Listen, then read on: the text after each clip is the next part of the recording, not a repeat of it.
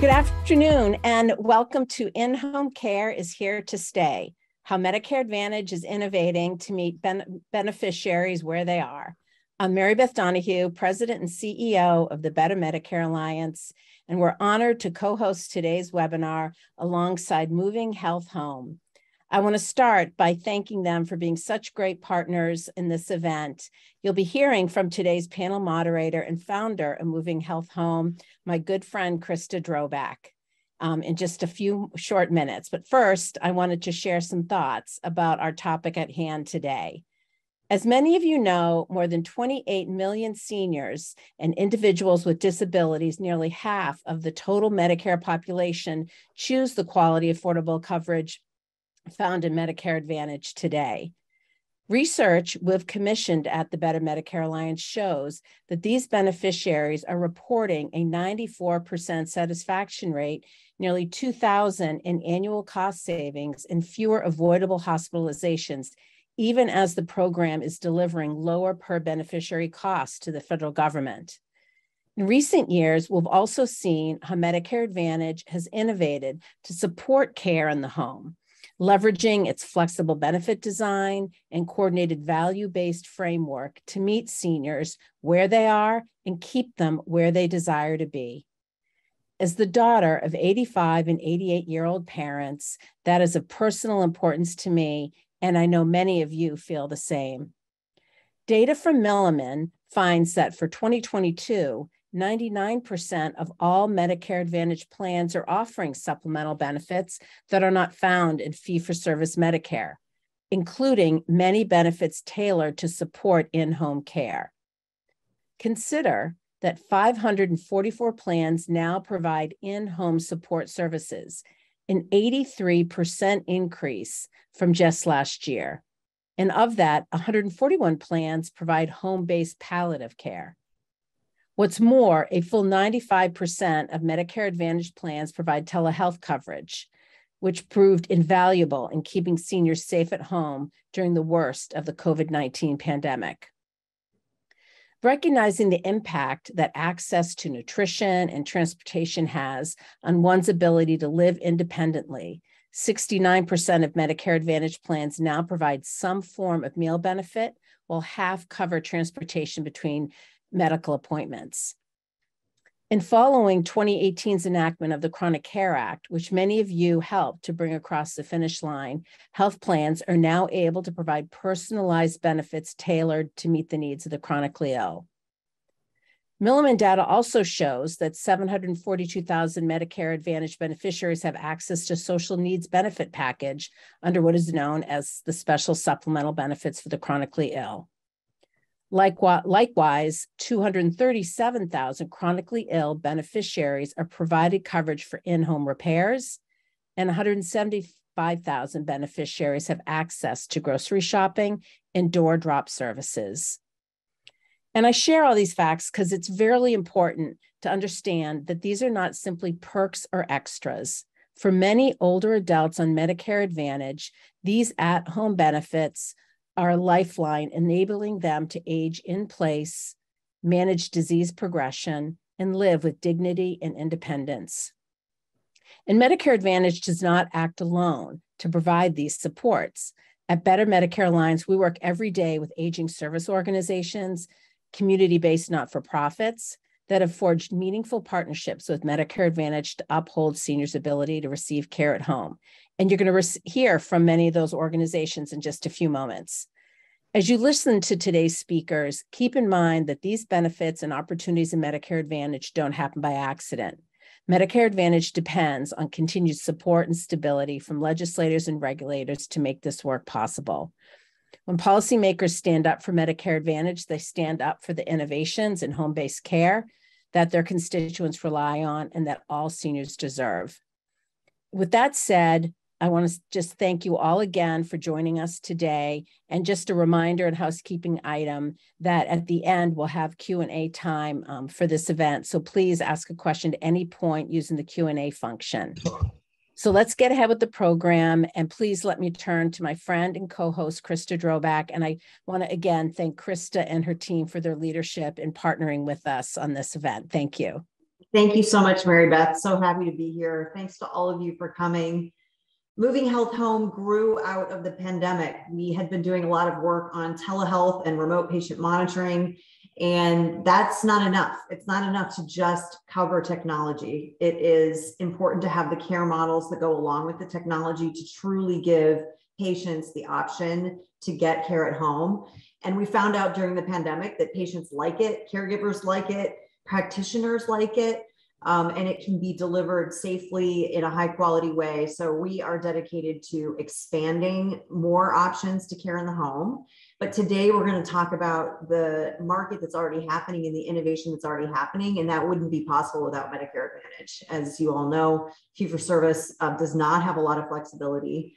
Um, moving health home, we are working towards um, more flexibility in the fee for service program, but right now the innovation is happening in Medicare Advantage. So we're, we're really pleased to have our members here today and all of you here today to understand the current market and what's possible in innovation. So the first thing we're going to do is find out the landscape uh, that exists today. Um.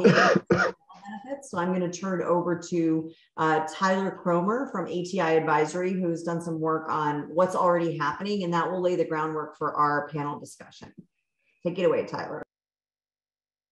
Great. Thank you so much, Krista and Mary Beth, for um, those intros and for hosting this event today. I'm delighted to be with all of you, and I am just going to share my screen. Great. So my job in the next 10 minutes is to give you all an overview of the current landscape of Medicare Advantage in home care benefits. Just briefly, um, I work at ATI Advisory, which is a research and advisory services firm in Washington, D.C., working across sectors to bring better care to the frail elderly population and to the complex care population. We have been conducting a lot of research on Medicare Advantage supplemental benefits over the last three years. So I'm just delighted to be able to talk to you all about that today and give everyone a good overview before we dive into what's going to be a really wonderful panel with great experts um, on the line. So um, just a little bit of framing here, which Mary Beth did beautifully. Uh, we're seeing three things that have really pushed care into the home um, in the last couple of years, and particularly particularly in Medicare Advantage. So, number one, and most of the folks on the line probably know this um, from experience, and um, and it's that Medicare beneficiaries want to age in place. Um, and most people want to stay in their home, but we also know that about half of individuals over age 65 are going to need a high level of care at some point, and three quarters of those people live at home. So there's a desire to live at home, and there's a need for supports to stay at home. Um, secondly, um, as Krista highlighted, the pandemic really brought more medical care into the home in Medicare, even in traditional Medicare fee for service um, where essentially um, telehealth was non existent prior to the pandemic. We saw this massive shift to people wanting and needing to receive care in their home. And I think that's opened up some potential policy levers. And then, thirdly, at the same time, and sort of just by happenstance, both Congress and the last administration took action to allow Medicare Advantage plans to deliver a broader variety of supplemental benefits. Um, some of those are in the home, and we've seen actually most of them are being delivered in the home, especially through the pandemic. But these are benefits that Medicare Advantage can bring to Medicare beneficiaries that are not in that base package of benefits that they would receive in traditional Medicare fee for service. And this is what we're going to spend a lot of our time talking about today. Okay, so it's Medicare. And so when we talk about the authorities that Medicare Advantage plans have to bring um, in home support services um, or personal care um, to beneficiaries, it's of course a complicated web of authorities. And that's why this slide has so many words on it. Uh, but what we see um, that we're going to sort of focus on most are these expanded, primarily health related benefits. So um, in the, the prior administration, administratively changed the definition of what it meant to be primarily health related. That meant that for the first time in 2019, uh, personal care or in home support services could be offered as a supplemental benefit. Um, we really did not see that occurring prior to 2019. Around the same time, the Chronic Care Act passed and Congress expanded authority for non medical benefits through special supplemental benefits for the chronically ill. And these are benefits that are really specifically tailored to individuals who have complex chronic conditions. Um, those are the sort of the authorities that are sort of most important for you to understand for this discussion. But I wanted to just mention briefly that there are a couple of other flexibilities available to Medicare Advantage plans in the gray. Um, uniformity flexibility. So plans are able to offer these supplemental benefits, you know, things that traditionally were vision, dental, and hearing and still are, um, but are now expanded into a broader variety of things that can be delivered in the home they're able to tailor those benefits to um, disease state. That's what that change allowed, um, so that they can have a, a, targeted benefit for individuals with, say, diabetes. Um, and then there's also a demonstration going on out of the Center for Medicare and Medicaid Innovation called the Value Based Insurance Design Demonstration. Just want you to be aware of that uh, because it's another way that plans could be offering supplemental benefits. Um, it is also um, testing right now offering hospice benefits in Medicare Advantage. So just want folks on the line to be aware of these flexibilities. I also want you to know uh, that you know these additional flexibilities, while they have allowed for a lot of innovation, and we're seeing some really interesting and exciting things in the market, um, they did not provide additional resources. So these benefits are all offered within um, the fully capitated Medicare Advantage payment. So what are these benefits? Um, this table is going to highlight new benefits that are available um, via special supplemental benefits for the chronically ill or SSBCI, or that were allowable once the administration changed that definition of primarily health-related benefits. Um, we've seen growth across the board over the last three years in these benefits. So we see more plans every year offering these benefits. Um, and I want to highlight the bold items here, which we're going to spend a little more time on. In home support services, um, you can see growing over time from 223 plans offering a benefit in 2020 up to 729 in 2022, and then also home based palliative care. Um, in home support services is one of the most popular benefits benefits being offered um, under these new authorities. So this slide is going to show you if you look at if you look at only um, in-home support services offered as a primarily health-related benefit, you're not seeing the full picture. Um, when we add in sort of all of those authorities that we talked about a couple of slides ago, we see that in home support services are actually in 2022 offered by almost a thousand plans. Uh, this is 18% of all Medicare Advantage plans, um, with some exclusions. Happy to talk through how we define that, um, or almost one out of every five plans. So you, you what you see here is that you know in 2018, there were no plans offering in home support services. And in 2022, we see one in five uh, offering these benefits. So it's really substantial growth.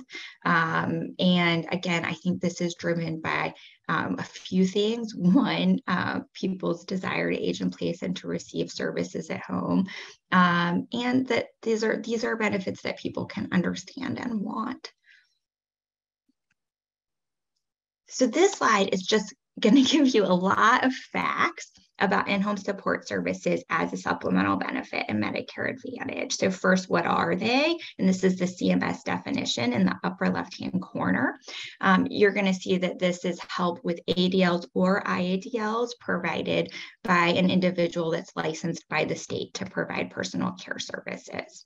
Um, there are, again, 952 plans offering this benefit in 2022. And in the um, bottom left-hand corner, you can see where these benefits are available. So if a county is shaded blue, that means that at least one Medicare Advantage plan offers in-home support services as a benefit. And you can see here that while geographic availability is not uh, perfect. We don't see the whole country covered. It is um, available in uh, quite a large part geographically of the country and also um, where many of our population centers are. And then on the right hand side, you're just going to see the organizations who are offering in home supports in the most number of plans. You're going to see the same thing here for home-based palliative care. Um, again, the map, um, however, the map looks quite different. You can see that these benefits are not broadly available by geography. And then I just wanted to tell you what these benefits look like. Um, this is not Medicaid. Um, so you're not going to see the sort of um, coverage that you might see in Medicaid. You're going to see um, really um, a much smaller number of hours. Remember, there are no additional resources here, um, but they can still be really significant when you think about a person's life and what they need uh, potentially to stay safe in their home. Um, and what I really want to point out here is you know, if these pies were to scale, the one on the right hand side showing um, 2021 benefits would be almost would be double the size of the one on the left. So the number of plans offering are growing and the generosity grew significantly from 2020 to 2021. So this is all uh, manual research. We went through um, these hundreds of um, plan documents um, to be able to tell you um, that we see more generous benefits. So in this slide, the gray is more generous. So you can see the gray piece of the pie getting bigger. The blue benefits are fewer hours, and we see that piece of the pie getting smaller. One more trend I wanted to make folks aware of that we're seeing and that I think will continue is that plans are offering benefit packages to really meet members where they are. And so we're seeing a lot of flexible benefit design. So where a plan is offering up to $1,000 for a variety of benefits that a member selects in partnership with a plan care coordinator, or a digital wallet where a beneficiary receives a, num- a certain number of credits that can be spent on different services. This can sometimes be a menu of options or uh, essentially like a debit card. Um, and we're just seeing this be um, as a very uh, sort of more common, I think very powerful way to deliver benefits to members. And we're seeing a lot of maturing of the marketplace. Mm-hmm. So uh, we see plans take two basic approaches to building a network to deliver these benefits. They either develop it themselves um, or they work with a third party aggregator to develop and administer the network. Um, but we're just seeing, I think, a lot of growth and maturity, which um, we're going to have a great panel talk about in more detail. Um, we do see, again, this probably won't be a surprise to anyone on the phone, but fulfillment and staffing are real pain points right now. Um, I'm sure that will come up in, um, in the next discussion as well. So thanks so much. And with that, I'm going to turn it back to Krista. Thank you, Tyler. Uh, Jonathan, we're getting questions about whether the deck can be shared. Um, yeah, we'll uh, we'll I know we'll want to check with the ATI with Tyler and ATI advisory, but um, on BMA's end, we're um, we're happy to share that out if we get that uh, if we get that approval. Terrific, terrific. So now we're going to talk about some real on the ground examples and experiences that people are having in Medicare Advantage working with patients in the home.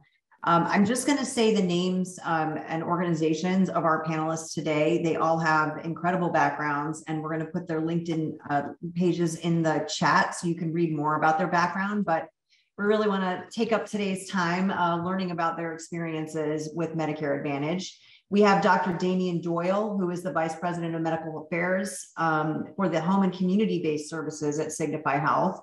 We have Vicki Hoak, the CEO of the Home Care Association of America, Chad Brough, who's the Vice President of Healthcare Transformation at Home Instead, and Shelly Sun, who is the CEO and founder of BrightStar Care. Uh, so we're going to um, go around the room on various different questions and then open it up for audience Q&A. Um, so I really want to start with um, a question about the innovation that's happening in MA. uh, related to in-home care. There's a lot of partnerships happening. And uh, Dr. Doyle, I was wondering if you could tell us about how Signify is partnering um, with uh, MA plans to deliver in-home care and, and actually how those models are designed. Yeah, sure. Thank you. And happy to be here and happy to be an ally of both Moving Health Home and the Better Medicare Alliance. And, always happy to, to chat with you all. So home is clearly the preferred site of care that we've been talking about for most of the population we serve. Just a minor anecdote, I have a family member who's an incredibly independent, high functioning 83 year old male. He had a relatively mild case of COVID. He fell, he broke his hip, and he required a hip replacement. Surgery went well, but he continued to test positive for COVID for 20 days. And so, you know, the, the protocols in place were hip, hip fall equals hip fracture equals surgery equals subacute rehab. And the subacute rehabs that would take him at COVID positive, as he said, if you want me to be in your club, I don't want to join that club, right? So, so the reality is he finally got home. It was a difficult journey, and we finally got him home with home health services. But it's it's clear that the current protocols, at least in the acute care settings, don't necessarily mesh what what the desires and the wishes of the patient population that we serve are. And again, those protocols are fairly rote and they just directly push you into settings that you nor your loved ones necessarily want to be at. We at Signify provide about 2 million in-home evaluations for the MA population, as well as some ACA, ACO, and Medicaid populations. During the pandemic, we, as all providers, pivoted to virtual and remote visits, and those are certainly helpful and will remain a significant portion of our portfolio. But clearly, being in the home, seeing the beneficiaries where they live, and getting a better understanding of the challenges that they face in the real world is invaluable. During those in-home visits, we're able to, to discern the unique challenges that a beneficiary is encountering. Our partners, primarily MA plans and health systems, use this information to better tailor their services to the member themselves. For instance, if we determine that medication is an issue, what we used to term non-compliance, but now better understand as non-adherence or unable to take the medication for a multitude of reasons, the health plan, along with the PCP and care team, can look at simple solutions such as shifting to mail order for three month supplies or uh, to avoid having to go to the pharmacy or as well as letting as well as letting the PCP team know that the member is not taking the medication because it's intolerable. So again, medications are a fairly obvious issue, but the concerns that are identified span the gamut. A lot of these needs are more specific to activities of daily living or instrumental activities of daily living and issues regarding overall home health, both acute and chronic. And I'd be very interested to hear from the rest of the panelists about while sometimes somewhat mundane needs, these are critical needs that allow people to stay in the home, to live the best lives possible, and to tailor those, those beneficiaries benefits to the beneficiaries themselves. A lot of, of what, um, what our first Tyler spoke about today, about how those are evolving and moving forward. I was at two different health plans in, in, my previous career. And as we thought about the bid and we structured these, we were hindered oftentimes before some of the new innovations came to the forefront to say, can we adapt to the specific needs rather than using a broad brush to paint everyone with the same, the same color. So uh, that's kind of the, the start off, um, how we assess, how we evaluate, how we then inform not only the health plan, but also the primary care team, to make sure that the individual needs of that individual person are addressed and met. Health Home, we do surveys to show that Americans want to be in their homes and caregivers want to be in their homes. But I think, like Damien, we probably all know people who you could just ask, Hey, would you rather be in a hospital or rather be at home? My own parents both got COVID. They are in their 80s uh, two weeks ago, and my mother refused to go to the hospital. And my father went to the hospital and left my mother alone. And she dropped her pills, couldn't pick them up, didn't take them for three days while he was gone. So it's just this like ripple effect that happens um, if people don't have an option um, to get in-home care. So thanks for the personal story to Dr. Doyle. That's really helpful to put, put this in perspective. Um, Shelly, I'd like to turn to you about how you approach MA plans and the value proposition that you share with them. Because we know that in-home care can reduce costs, as we've already talked about. It is preferred. Um, so, what what do you tell them when you when you are convincing them that in-home care is an important benefit? Yeah, thanks, Krista. And uh, similarly, I'm really glad to be aligned with um, Moving Health Home and to be um, participating in a very important topic. Um, we have a, a, large national account program, so many of the plans that are administering over the Medicare Advantage um, program, we already had national account relationship with, and then we expanded into looking at Medicare Advantage. Uh, the rates are, you know, unsustainable from the very beginning. They're low, and so we believed we needed to have data to show how home care can really reduce the overall cost of care. So uh, we are fortunate to have our own technology and our own data. We have since I founded the business in 2002, still own 100% of it. So happy to be able to invest in technology and data from 2004. All of our technology and all of our data has been on the same platform. So we uh, entered into a relationship with Avalere Health uh, to be able to use their access to Medicare um, Part A and B claims data up against our population to demonstrate that we were really making a significant mm-hmm. impact in reducing the overall cost of care with the utilization of home care. We believe we did some things unique. We have a registered nurse involved in a plan of care that's also involved in the supervision of care. We're voluntarily joint commission accredited and follow all the policies and procedures across the brand. Those things cost money. And so what we found is we were getting the same rate as every other brand providing home care. We had to be able to tell the story backed up by data as to how we improve results. Avalere published a study, it's their study. We did we had to turn over our data, they ran it, it's it's published by them. Across 30 unique health conditions, we um, had up to a $30,000 of savings um, and an average of $13,000 of savings on our congestive heart failure um, population. We had $7 million of savings compared to the control group. So we have uh, um, clinical pathways for certain more um, common um, uh, incidents of, of care and, and, who were taken care of from a population standpoint, standpoint. We knew we had to be able to tell the story. Um, we believe wholeheartedly in Medicare Advantage. We started this business to take care of our moms and dads, grandmas and grandpas. Medicare Advantage is a big part of that and a growing part of that.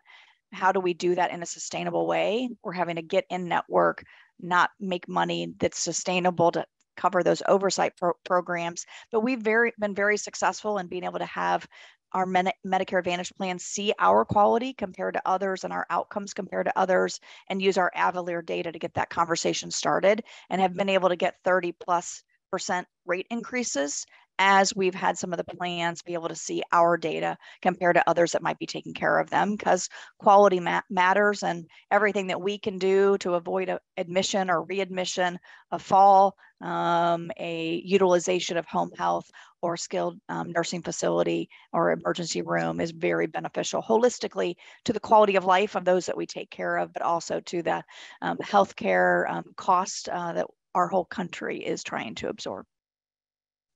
Shelly.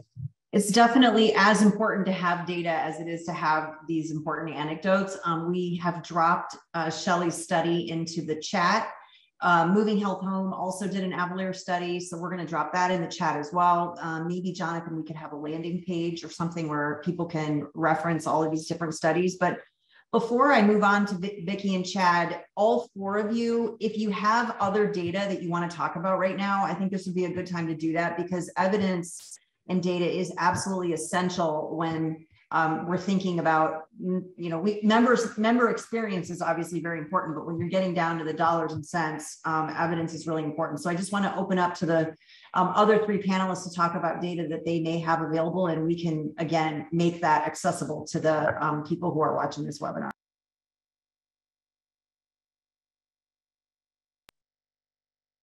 Damien, does Signify have formal um, studies? I'm sure Vicki, you must have formal studies as well. Chad, I saw you unmute. Does Home Instead have some formal um, evidence? Yeah, uh, we, you know, I could I could drop this in the chat or put this um, out post presentation, but we've done some partnerships with providers specifically to heart failure and chronic diseases in terms of readmission rates and, and um, medication compliance with that particular cohort of patients uh, to show improvements in the quality of care and the follow-up care particularly. Um, partnering with providers uh, on the acute care side uh, to be able to get into the home and to see how um, we can support these patients in managing the uh, congestive heart failure condition. And I'll try to add that to the chat so we can share that data as well. Okay. Um, and we have, um, sorry, Joe, we have we have some additional information as well as the impact in, in terms of the post-visit, uh, in terms of the impact on the overall medical loss ratio and overall performance of the patients, including getting back in to see their primary care teams. So I can get you that information as well.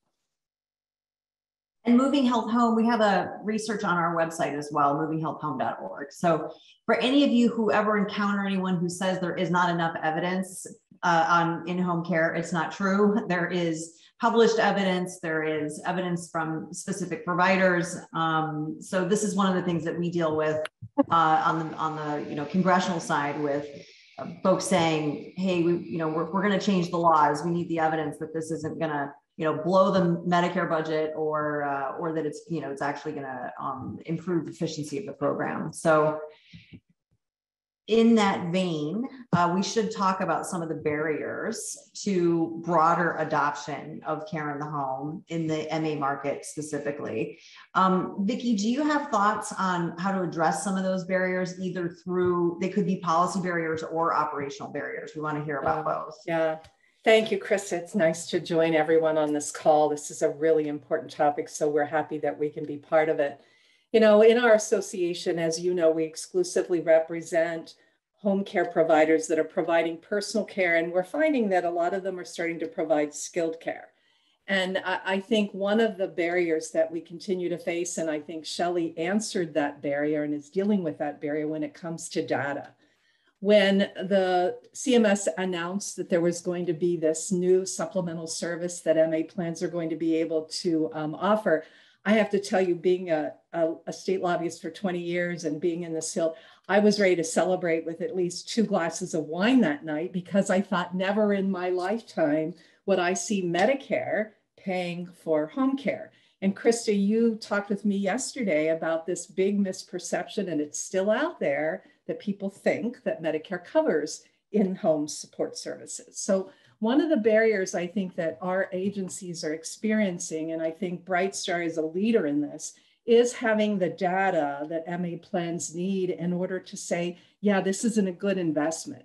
I think it's fair to say that there has been a huge um, learning curve for both sides. I think MA plans had no idea who we were. I think our sector of home based care, and I'm using that in the terms of we've got home health doing Medicare skilled, and then we've got end of life care, hospice. But our care is we have a bit of an identity crisis, and we're dealing with this with this because we have no national standard right now for in-home support care. We have state licenses, and let's be real clear, only 30 states license in-home support care.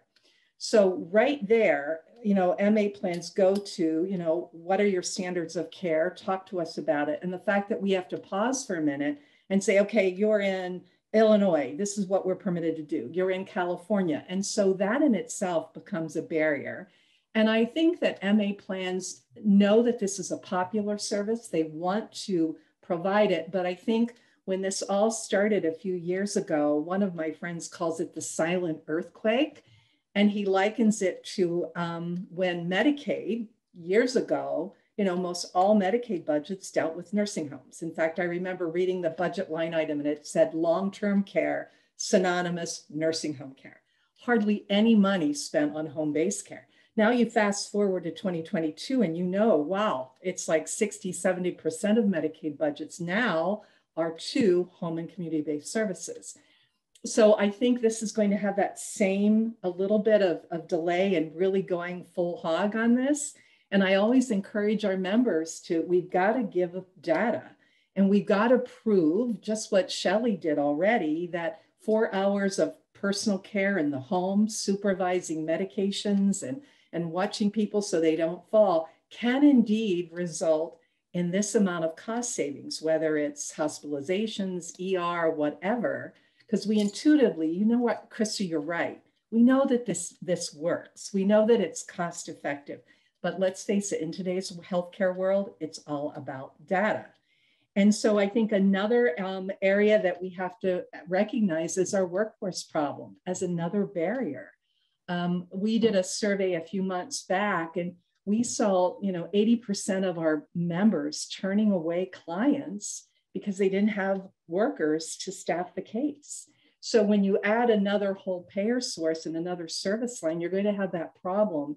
And I think we've got to address that. I think it's starting to loosen up a bit, but I think Shelly mentioned the sustainability of these rates. We must now pay our workers more, and I think they deserve it. There's no question there. And we also are seeing state minimum wages going up.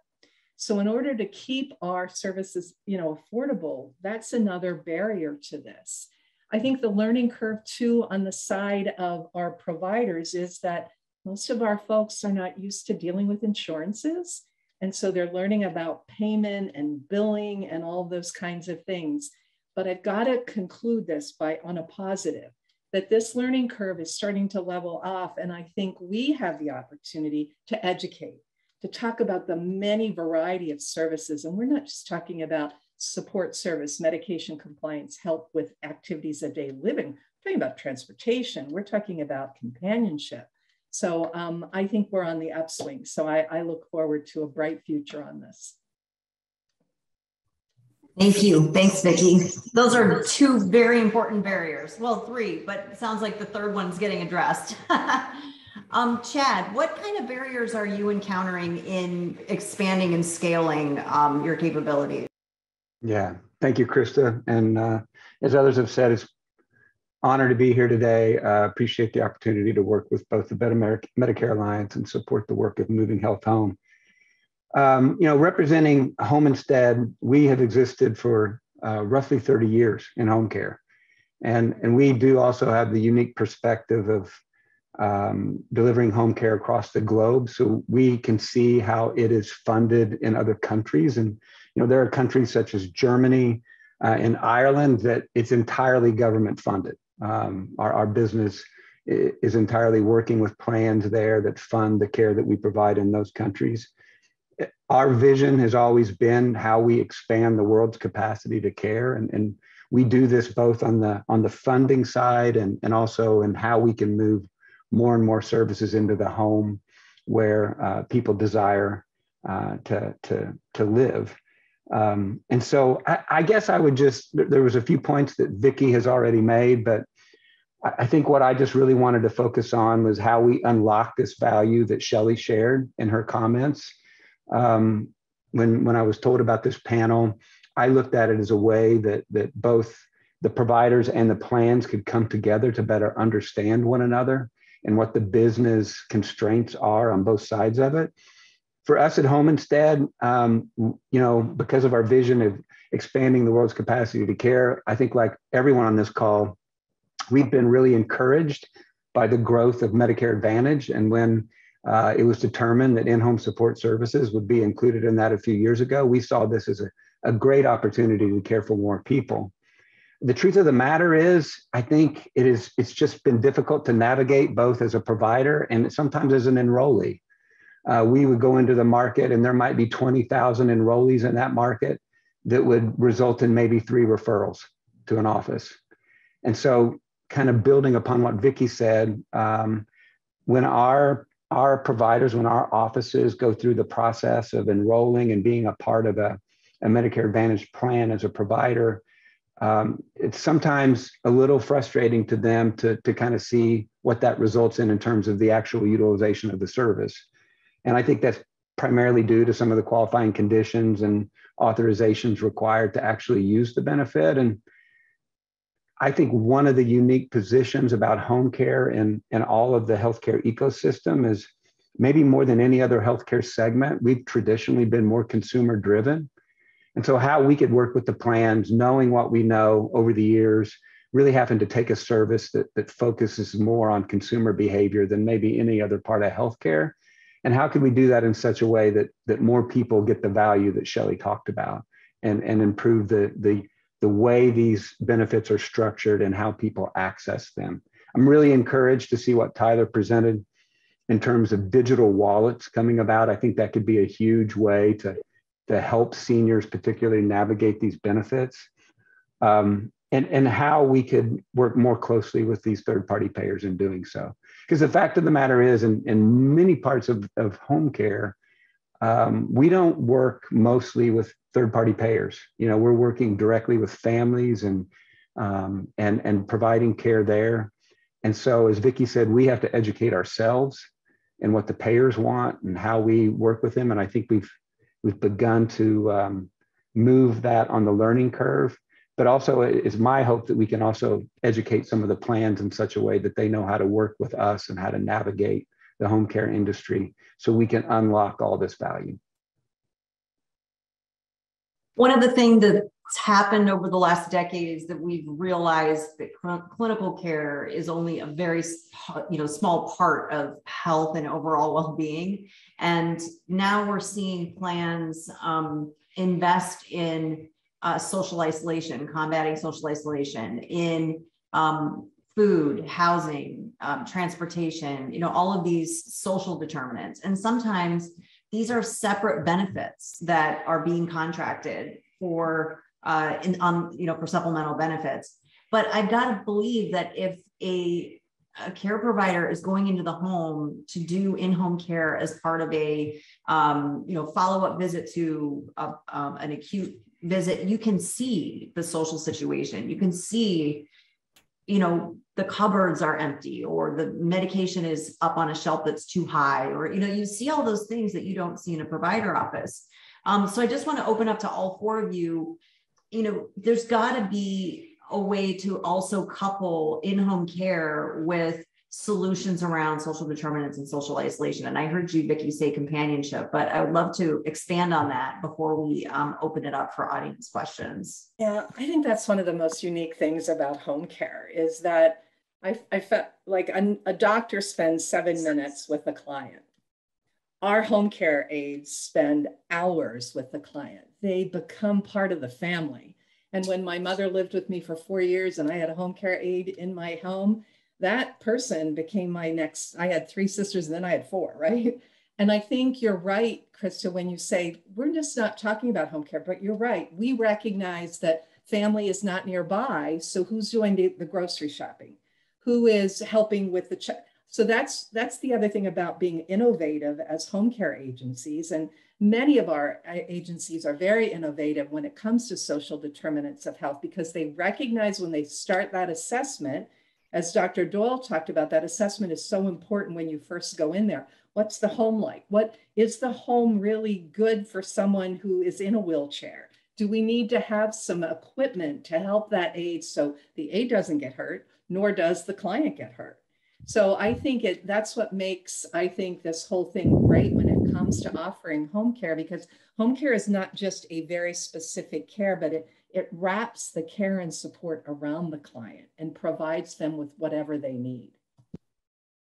Yeah, and I'll, I'll add that. So our, our assessments are about 45 to 60 minutes long. And when we send the physicians and PCPs into the home, they do a very thorough evaluation and determine things like fall risk, like uh, the re empty refrigerator sign, uh, like doing the PHQ4 and PHQ9 to look for uh, for uh, depression, anxiety, suicidality risk, all those types of things. And all of our plans across the board are asking us to do more and more in the home, whether it's diagnostic preventative point of care testing like hemoglobin A1Cs for diabetics, or whether it's when we make a, a, a, diagnosis or when we inform the plan of a diagnosis. If we say patient Smith has dementia, then what are we going to do about that dementia? How do we then partner with people on this panel and other services to say what are the care supports that we can put in place to keep that member, that beneficiary in their home, living the best life they can and not ending up in institutionalized care. I, I still see patients, I'm a geriatrician, I see them in institutionalized care.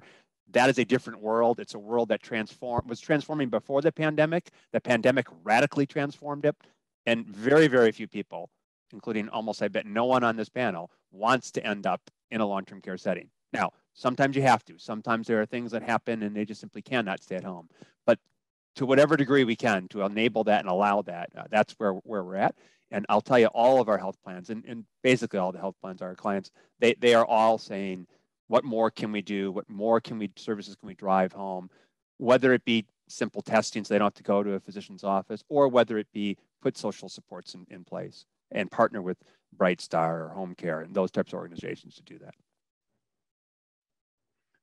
Yeah, I, I, what led me to this role is I worked on the acute care side for 25 years and just saw the limitations of the delivery of episodic care to chronic conditions. And um, there was a particular patient in the that we treated in the organization I was at uh, who had um, she had 100 emergency department visits in a single year until she got into our accountable care organization. And uh, we had three EDs across the city. Um, when we started linking things together and realizing how often she was in our emergency departments, we, through our, our accountable care organization, we sent a, a caregiver out to her home, realized she was a diabetic patient. She didn't have a working refrigerator and she didn't have a wheelchair ramp and she was wheelchair bound. And so every three days, she would have an acute condition that required an ED visit. And in working with uh, in a different way, where caregivers were going into her home, we were able to get a working refrigerator and build a wheelchair ramp. And she went six months without another ED visit. And so it's, it's stories like that that I think could really help us unlock uh, what is really going on in, in patients' lives in the homes. And, and I think our, our care pros are exactly the eyes and ears we need in the delivery of this uh, that could, could change the way um, healthcare is delivered in our country. And, and you know, the way it's set up, these those acute care settings, they all probably knew of that woman, but they didn't have the that's right the 50,000 foot view that a Medicare Advantage plan would have to say, she's not just going to St. Luke, she's going to St. Joe's and St. Mike's, and she's going to all of them because these are her needs, and they're just needs that aren't being met and addressed. And that's where MA can step in and say, we can see the whole picture. That's right. Let's put some things into place to to, to stop that trajectory.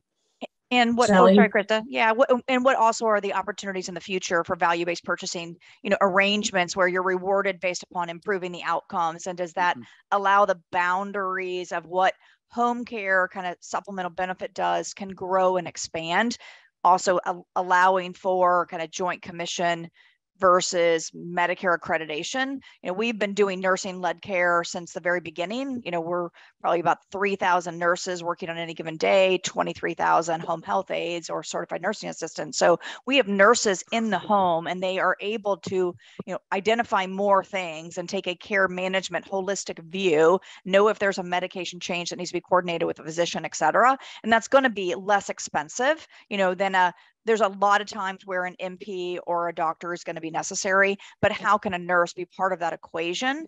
And right now, because of Medicare certification, our boundary kind of stops at the supplemental. And I think we have to get to where if the plan is administering do they have an ability to use non-Medicare accredited because we're not billing CMS doesn't mean that we're not operating the same quality and the same standards under Joint Commission uh, guidance. And I think that's a real innovation for the future. We're trying to lean into some of those by doing some of those services and demonstration projects right now um, with plans and with hospital at home, et cetera, and, and, and blurring those lines with them being the one to bill um, Medicare. But I'm buying up a lot of my, my franchisees to have more areas where I could lean in and risk my balance sheet. Most franchisees don't have the ability to wait for a quality or outcome based incentive they need the money up front because they're making payroll every month. And so I have an ability to take some of that risk, which I'm doing because I think we have an ability to prove out this model. And then eventually some franchisees will want to participate in that. But I think we have to get to enough scale to say, you know, why cut us out of value-based purchasing? We can be part of the incentive base. We believe in our quality. We believe in what we can do. And my hope is that's where some of this future is headed. I, I could not agree more. Value-based care is home care is a completely obvious service when you're talking about value-based arrangements. It's just obvious. But and Damien, to your point, those institutions don't have an incentive or a workflow that would allow them to to address the needs of that senior um, that's why these value-based care arrangements do create the, the sort of holistic incentive for all the players involved. And it's one of the things that we are working on through Moving Health Home on the policy front. Yeah, um, sometimes Jonathan, their incentives are perverse, actually, to the, to the opposite, unfortunately. Exactly. So, yeah. Exactly. Um, Jonathan, uh, we have a few questions from the audience, I understand. Uh, yes, yes, we do. Thanks, Krista. Uh, the first question comes from Evelyn, uh, and she says, "What do you feel innovators must keep top of mind to support aging in the home for Medicare Advantage members, specifically when focusing on uh, mobility and strength building and fall support slash prevention?" do you want to take that one? What are the kinds of innovations that we're thinking about, um, the important innovations and, and specific to fall risks? I know that Medicare Advantage, um, when CMS redefined what primarily health related it was, they said that you could put bars in your home. And and it was funny because at the time I did wasn't really that familiar with senior falls, and so I thought bars. I mean, Medicare Advantage is going to start paying for bars in the home, but it's actually extremely important. Um, so I thought that was a really you know good innovation by uh, by Medicare Advantage. But now that we have stretched the um, the definition of primarily health related, there are a bunch of different things that can be done. Um, so, what are some of the innovations that you think could uh, move us forward on that front. I'm sorry, Krista, did you ask me? Oh, okay. Um, well, getting back to your comment about the bars, and yeah, unfortunately, it's not the bars that you're thinking about, Krista, but I think the other thing that we're starting to see and that some of our policy discussions are centering around is making homes livable in order for people to stay and, and at home. In fact, um, there is a lot of work being done. There's legislation now that's in Congress that would allow people to spend their 401k savings early without penalty to use to modify their homes if they desire to stay there. And I think that in itself is, is something that we've got to look at because it is a barrier to staying at home. We've got to look at the homes out there. We know that the older homes in this country do not have those bathrooms on the first floor um, that they're very small for wheelchairs. So that's one thing. I think we're also starting to see other kinds of innovations in regard to specialty service lines. I think our agencies are looking at the, you know, the top diagnosis of, of our Medicare beneficiaries, and they're seeing that dementia is huge. So I'm starting to see a lot of our um, providers doing specialty services, adding a certification for their aides to get in dementia care and I think MA plans are looking at that as a plus. So I, I think that's one thing. Um, and then I, I think the other thing is just looking at how can we retain that workforce? One of the things that we're starting to see, I talked with one plan about a month ago, they're looking at as far as criteria for who they're going to contract with. They're, they're, they're thinking that turnover data is important, which kind of sends shudders to all of us in the field, I know, but when you think about quality of care, that continuous caregiver is important, that, that relationship that is built. So what can we do to, you know, elevate the profession of caregiving? And I think that we have an alliance that is now um, just starting work with the National Association for Home Care to actually address the workforce issue. What can we do to elevate the profession of caregiving? What can we do to um, make sure that we have a culture of caring? which is kind of new when we did our survey on workforce that that that that issue a culture of caring became one of the top reasons why people come to work for certain agencies. So how do we do that? What do we what do we promote? And i so i think those things are just just a few things that we're looking at as far as innovation for care and making sure that we have the caregivers to deliver that care.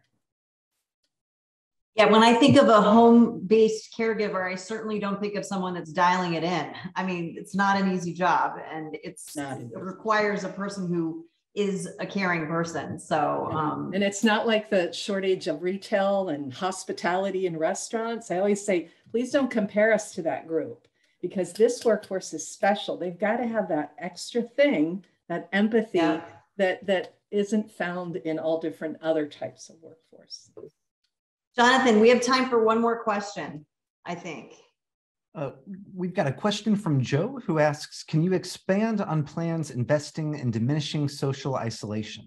Which plans, what modalities are relied on to decrease isolation? What's the evidence of efficacy? On what terms? And how does the beneficiary take advantage of the opportunity? So I'm the one that mentioned it. So I will say there was a study maybe five or six years ago that said that social isolation was the equivalent of smoking 15 cigarettes a day, um, that it had that big of an impact on your body. And um, at that point, I want to say I want to say it was Anthem originally that started investing in it, but I'm not sure. Um, I don't know if others on the call are familiar with this, but I'm assuming we could probably find you a report or two about um, maybe Tyler might know. I don't know, but I don't know the specifics. I just know that there was a, a growing trend to address social isolation because of the clinical impact that it has on your health. Um, if you are diabetic and socially isolated, you have um, higher A1Cs, um, and loneliness causes more depression, and depression is um, is a comorbidity that worsens basically all chronic diseases.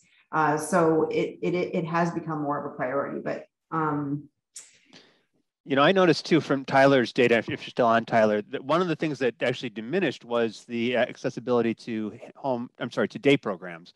I don't know if that was a pandemic fallout or, or what that issue was, but um, you know, day programs can be really helpful actually for social isolation issues, but I saw that in your data um, actually went down. That's that's right, and we do think that's largely because of the pandemic. And um, one or two major carriers dropping the benefit as a result. And I couldn't agree with you more that it can be a really important way to address social isolation.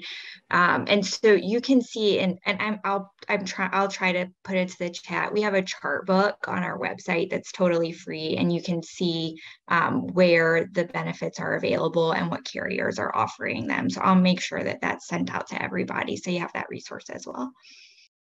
Jonathan and Jeremiah, I hate to put both of you on the spot, but maybe we could put a landing page on the BMA website and on the Moving Health Home websites where people can go to get all of these resources. Because I'm seeing that Jonathan is saying that there are questions about research. And I know that BMA has the Milliman study and as well as others. And Jeremiah put our Avalere study and our morning consult study. And then Shelly's study, um, Chad's um, evidence. There's a, there's a bunch of different resources I think that we could put together coming out of this webinar.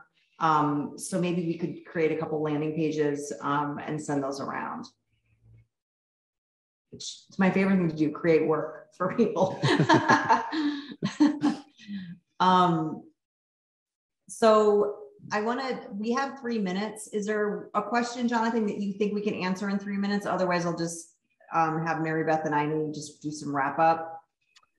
Um, maybe we can close with this question uh, from, from Grace. Uh, she says, do you foresee any restrictions or regulations on in-home or telehealth uh, risk assessments post-public health emergency or annual wellness visits? So I'll just quickly, so on the annual wellness visits, the annual wellness visits were on the pre-pandemic list of approved services under Part B for telehealth use. The challenge is that if the telehealth flexibilities expire, those um, those assessments would only be able to be done in rural areas, and the patient would actually have to be in an institutional setting. They couldn't be at home, so it's almost sort of useless. Um, the uh, the telehealth flexibilities are extended for 151 days after the after the public health emergency expires, and our hope is that if we can um, basically combat the perceptions that telehealth costs money or increases fraud, that we will be successful in getting long-term coverage for telehealth. Um, and remote monitoring is already a benefit. So you can certainly monitor the biometric data of your patients remotely. Um, and then, but again, as I mentioned up the top, telehealth and remote monitoring are only the tools. We need the care models. And Medicare Advantage is truly the, the you know the next frontier testing all the next frontier that you know we hope to one day have in fee for service but really medicare advantage is leading the way on the kinds of care models that um, can can wrap around the telehealth and remote monitoring services. So um, I'm so pleased to have been here today to be partnering with the lead organization on Medicare Advantage because again, we love innovation and it's coming out of, out of your members, Mary Beth. So I'll turn it over to you for some closing comments. You're on mute. And I'm going to unmute myself. Thank you, Krista. Um, and thank you for those words. And Chad, Damien, Shelly, and Vicki, it was great to be able to hear from you. And as I said at the top, um, you know, what we're doing here at BMA um, every day is to be able to work with the Medicare Advantage community, and you're a part of it, uh, a critical part of it. And those who joined us today are, whether or not you're BMA allies, you're members of um, Moving Health Home, um, and other partners um, with each of those organizations. And I know we're all committed to everything that we're focused on today, which is trying to work with seniors to be able to get the care that they want at home. And deserve at home. And I appreciate Krista focusing on both the priorities, but also the barriers that we've discussed. And, you know, ironically, we just had a supplemental benefits convening last month that Damien was a part of. And this is just interesting to be able to have this follow up conversation um, when we talk about the benefits. And so many of them are benefits that these seniors deserve so they can be able to get this kind of care at home. Um, and lots of follow up from this. Just hearing from Vicki on the point of data. We just had a conversation with CMS this morning about data, and it's in this area. Um, so just look forward to staying in conversations with um, all of you. And just Krista, thanks so much for all that you're doing um, in this space, um, and look forward to staying in touch with all of you guys.